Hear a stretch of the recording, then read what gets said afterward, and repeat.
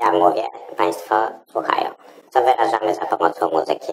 Wyrażamy swoje uczucia, swoje nastroje, czy to radość, czy to smutek, czy to miłość. To ja teraz wezmę gitarę. Ta gitara to jest jeden z najbardziej popularnych instrumentów. Czarpnę struną.